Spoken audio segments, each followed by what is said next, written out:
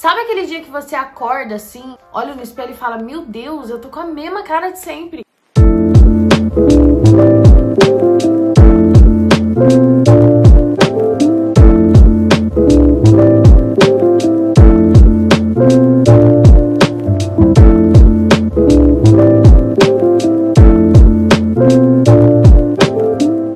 Penteados fáceis, penteados rápidos.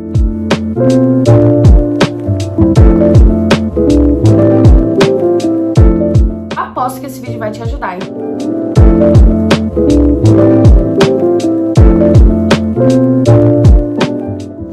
Oi, gente! Eu sou a Tami, sejam muito bem-vindos ao canal. Hoje eu vim compartilhar com vocês algumas ideias de penteados para ir para a escola, para ir para a faculdade, para ir para o trabalho. Nada muito mirabolante, não precisa se preocupar, são penteados fáceis, penteados rápidos. Sabe aquele dia que você acorda assim, olha no espelho e fala: "Meu Deus, eu tô com a mesma cara de sempre". Então, é para esse dia. Ou até mesmo para aquele dia que seu cabelo estiver podre, sabe? Os olhos tudo aqui na cabeça, dá pra fritar um ovo? Se você também passa por essas situações, eu aposto que esse vídeo vai te ajudar. Então já deixa o like, se inscreve no canal e assiste esse vídeo até o final. Então bora ao que interessa. Uh, o primeiro penteado é aquele penteado muito rápido. Você vai pegar uma piranha, uma prisilha, sei lá como você chama. Eu comprei essa daqui, que é essa coisa linda e eu não tenho nem maturidade para ela. Eu paguei acho que 14 reais numa lojinha que vende cosmético, esses negócios. Se você não tiver, pode ser qualquer uma. Mas, basicamente, você vai fazer o seguinte, você só vai usar ela. Vai deixar a franjinha separada, se você quiser. Vai pegar aqui mais ou menos metade do cabelo, sabe? Não precisa ser muito. Vai pegar ela e vai colocar aqui por baixo, entendeu? Vai vir aqui e vai prender. E olha só como fica fofinho. Aí é só você soltar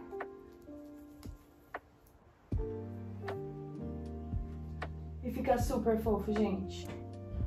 Ai, não. Eu vou meio que olhar ali atrás, porque ali tem um espelho e eu consigo ver. Gente, ó, vamos separar o cabelo no meio. Isso mesmo, bem no meio mesmo. Vamos separar duas pontinhas aqui de franja, assim. Aí, a gente vai pegar essas franjas que sobraram e a gente vai prender elas aqui atrás. Aí você arruma aqui, ó, deixa um pouquinho caído um pouquinho preso. Prontinho, tá vendo? Aí você vai prender aqui. Só que não prende assim, sabe? Apertado. Prende bem soltinho. A ideia é ficar bem soltinho. Aí é só prender com uma piranha. Agora vamos arrumar os detalhes e os baby hairs, que são bem rebeldes. Prontinho. Agora me fala se não deu um tchan. É muito simples, só que dá um tchanzinho naquele dia a dia. Aí você capricha na piranha aqui que você colocar. Vamos desfazer aqui e ir pro próximo penteado. Esse penteado é um coquinho e vocês vão precisar desse bagulhetes. Esse bagulhete, gente, vocês encontram em lojinha de cosméticos que vende coisinha de cabelo também, enfim. Vocês encontram, é bem baratinho, tipo, bem mesmo, deve ser, sei lá, uns dois reais. Como sempre, separar uma franja eu vou até prender com um grampinho. E a gente vai colocar tudo pra cima pra fazer um coquinho mesmo. Se você quiser dar uma baixadinha pro coque lá pra cima, sabe? Ajuda. Pega um elastiquinho. Vocês vão pegar a rosquinha e vai colocar aqui. Ui! Beleza, colocou a rosquinha, aí vocês vão dividir o cabelo aqui na metade metade pra frente e metade pra trás, certo? Ó, metade, metade, tá vendo? Cara, essa parte é difícil explicar. Mas basicamente vocês vão pegar e vai passar por baixo da rosquinha. Sim, gente, é uma loucura.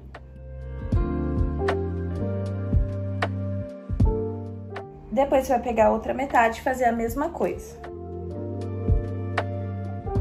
Aí vocês viram que sobraram duas pontas. Se você tiver o cabelo grande, vai sobrar. Aí você só passa aqui, tá vendo? Ó, pega aqui, passa aqui. Aí você pega um grampinho normal e prende. Aí vocês vão pegar a bolotinha e vai dar uma soltada, né? Depois vocês vão soltar a franjinha. E a gente tem um cocão gigantesco, parece que eu tenho até mais cabelo. E fica super lindo e é muito bom pra você usar no calor e também quando o cabelo estiver sujo.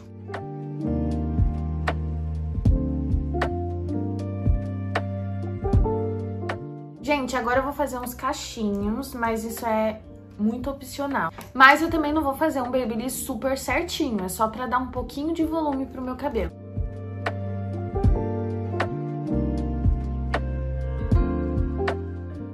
Prontinho, gente, tô aqui só amassando os cachinhos pra eles não desfazerem. Eu fiz bem de qualquer jeito, sabe? Só pra dar volume mesmo. Até porque se for fazer certinho no meu cabelo, tipo, demora bastante. Demora uns 40 minutos, uma hora. Olha só quando solta a franja, como fica bonito. Eu amo. Então, vamos para o próximo penteadinho. E ele é o seguinte. Você vai deixar a sua franja de fora, como sempre. Você vai vir aqui em cima, vai separar um pedacinho de cabelo, vai pegar um elastiquinho. E aí você vai fazer um rabicozinho desse, igualzinho desse lado.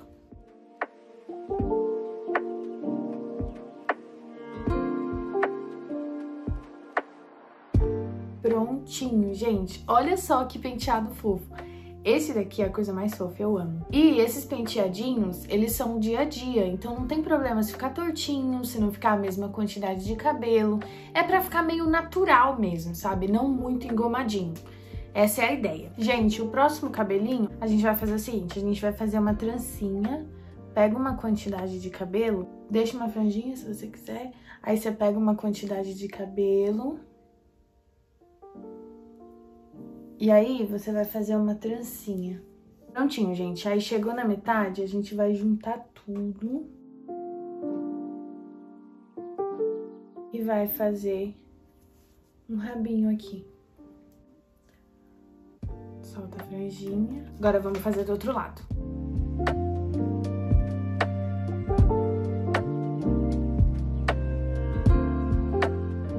É muito bonitinho também esse penteado, né? Bem delicadinho.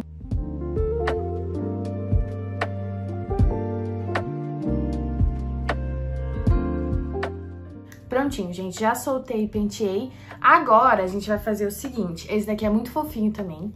Você vai pentear pra trás aqui. Sempre deixando uma franjinha, caso você goste. E você vai pegar um, uma partinha assim, ó, tá vendo? Gente vai pentear meio que pra frente pra ver se ele fica bem pra frente, sabe? Aí você dá uma soltadinha assim, ó. Pra ficar mais bagunçadinho. E aí você pode ousar na sua criatividade, colocar um adereço. Eu tenho um aqui, esse daqui, ó. Ele é mais crunch, tá vendo? Só que ele tem um lacinho grudado. Gente, esse é um dos penteados que eu mais faço, assim, na vida. É só vir aqui. Fala pra mim se esse penteado não é uma das coisas mais fofas que vocês já viram. Olha isso, gente. Ele é muito fofinho. E dá um toque super, super especial. Tudo pra mim. Olha isso. Olha como fica daqui, ó. Agora vamos pra mais um. E esse daqui é um outro que eu uso, tipo, muito. A gente vai trazer a franja numa quantidade maior para um lado só. O Babyliss já saiu boa parte, tá vendo? Mas ainda deixou o meu cabelo com um formatinho bonito. Enfim, depois que a gente vai separar a franja aqui, bem bonitinho, a gente vai trazer o cabelo aqui todo pro lado. Você vai pegar a sua franja, deixa assim um pedaço pra ficar caidinho e vai prender ela com um grampo assim, ó. Vocês conseguiram entender? Não prende assim, não. É assim, pra ficar bem caidinho aqui, tá vendo? Aí você vai vir aqui com esse cabelinho e vai fazer uma trança. Uma trança normal. Não precisa apertar muito nessa parte, tá? Minhas pontinhas já estão bem bonitinhas por conta do Babyliss, por isso que é legal fazer assim, pra dar um tchan, entendeu? Você vai amarrar aqui. A ideia é você deixar uma, um bom tantinho assim de cabelo aparecendo, tá? Não precisa fazer a trança até muito aqui, não. Agora vamos soltar aqui um pouco. Dá uma bagunçadinha nela. Olha só, gente, babado. Solta também essa franjinha daqui. Vamos soltar um pouco de cabelo aqui também. Ficar bem natural. Pra não parecer que você quis fazer aquela coisa muito engessada, sabe? Se quiser dar uma desfiadinha. Tá? Também pra gente prender um pouquinho mais em cima. Deixa eu prender pra vocês verem como fica. Dá pra você pegar o Babyliss quentinho, né? Óbvio. E fazer uns cachinhos aqui na franja.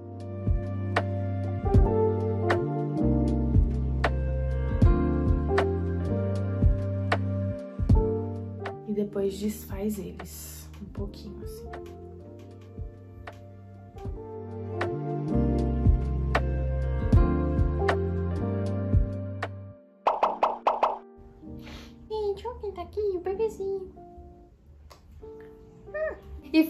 Gente. Hoje o vídeo foi um pouquinho mais rapidinho, mas eu acho muito válido a gente dar uma mudada de vez em quando. Eu espero que vocês tenham gostado. Um beijo e até o próximo vídeo. Tchau!